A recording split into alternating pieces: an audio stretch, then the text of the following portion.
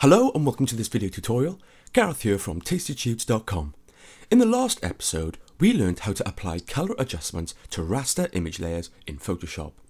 We learned that when applying a color adjustment to a raster image layer, it will have a destructive effect. Now, there is an alternative feature that allows us to apply color effects to our layers very much the same as using adjustments, but in a non-destructive way. These are called adjustment layers. In this tutorial, I will be discussing adjustment layers, how we use them, and why we use them. I will also be referencing an additional video I have created previously. In this video, I will only be covering the very basics of adjustment layers, though in the additional tutorial, I will be going into more depth of how to use adjustment layers, so I strongly recommend you watch this when we come to it. By the end of watching this tutorial and watching the other video, you will know everything you will need to know about adjustment layers. So to follow along with this video, you will need to open this document I have prepared especially for this tutorial. This document can be found in the Essential Practice folder in the Project folder. Now you can download this project folder for free, the download link is in the description. So with the project folder open, click Essential Practice, open the Adjustment Layers folder and open the Adjustment Layers PSD, then you should have something that looks like this. Now in this video, I will be referring to the Properties panel. If you wish to follow along, you too will need your Properties panel visible. If you cannot see your Properties panel, you can come up to Window, scroll down and activate it there. Now for the sake of this video, I'm going to drag mine out from my panel set so you can clearly see what's going on. So just like in the previous video, on the left we have some examples of raster image layers and on the right a smart object layer. So if we take a look at the examples on the left, we can see that clearly we have two very different color effects applied. Now if we look in the layers panel, we will notice something we have not seen up until this point on the course. If we look closely, we can see what appear to be layers on top of the two bird raster layers in the layers panel. Well, these are in fact adjustment layers. Here we can see a hue saturation applied to the top layer and a black and white applied to the bottom layer. Now check this out. So on each of the layers, we have a button to toggle the visibility of the layer. So I'm going to toggle the visibility of each of these adjustment layers, and all of a sudden, each of the examples are back to the original image.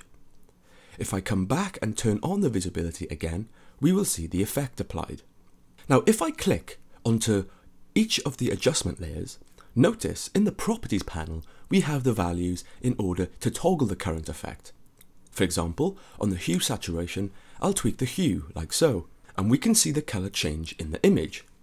So instead of permanently changing the image like using adjustments, as seen in the previous video, here we can apply a non-destructive layer in the layers panel. Pretty cool, right? So when applying color adjustments to images in Photoshop, I would always recommend using adjustment layers over simple adjustments as you will have the flexibility to change and turn off your effects as you please. So now let's come across to the Smart Object layer. Now in the Layers panel, it does not matter what type of layer you have, a type layer, a Smart Object layer, a raster layer or a shape layer. You will be able to apply an adjustment layer to any kind of layer. So let's see how this is done.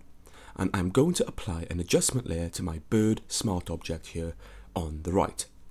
So before we apply an adjustment layer to a particular layer, we must first select it in the Layers panel.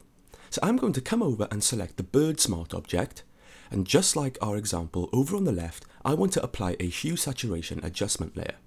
So with the layer selected, I'll come down to the bottom of the Layers panel. At the bottom of the panel, we have some icons. Now the one we want to pay attention to here is the Add Adjustment Layer icon. This is the circle icon, half white and half black fourth from the left. So I'll click this icon and up will pop a list of adjustment effects. Now you may be familiar with the options we have here. They are very similar to the adjustments we applied in the previous video. So from this list, I'll go ahead and select the hue saturation.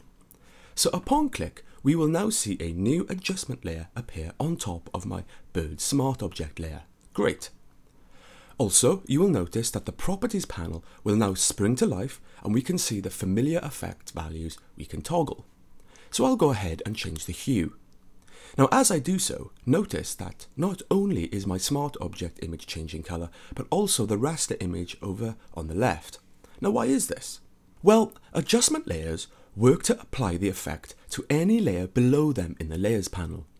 As we can see, this adjustment layer exists at the top of the layers panel.